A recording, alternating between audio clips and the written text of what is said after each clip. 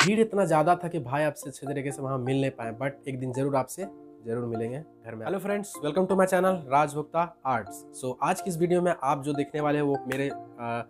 सारे स्केचेस से अलग है क्योंकि इस स्केच में मैं पूरा बैकग्राउंड के साथ अपने स्केच को ड्रॉ करने वाला हूँ। एंड उससे पहले मैं आपको बता देना चाहता हूँ फ्रेंड्स अगर आप लोगों ने मेरा इस वीडियो से पहले वाला व्लॉग नहीं देखा तो प्लीज़ उसे जाकर के देखना क्योंकि पिछले व्लॉग में मैंने दिखाया था कि गरीब बॉय का मीटअप में मैं गया हुआ था एंड भाई को स्केच दिया। सो so, ये स्पेशली सावन भाई के लिए है स्केच एंड किस तरह से मैं उस स्केच को ड्रॉ किया वो आज इस वीडियो में आपको दिखाऊँगा। सो so, सावन भाई ये वीडियो आपके लिए स्पेशल है एंड आपसे तो उस दिन बढ़िया से मिल नहीं पाया लेकिन एक दिन ज़रूर आपसे अच्छे तरीके से मिलेंगे एंड आपको ये स्केच कैसा लगेगा प्लीज़ एक बार कमेंट में बता दीजिएगा। सो so, उस दिन काफ़ी ज़्यादा भीड़ हो आने के बाद मैं उनसे नहीं मिल पाया बट अपना स्केच उन्हें दे दिया एंड अपना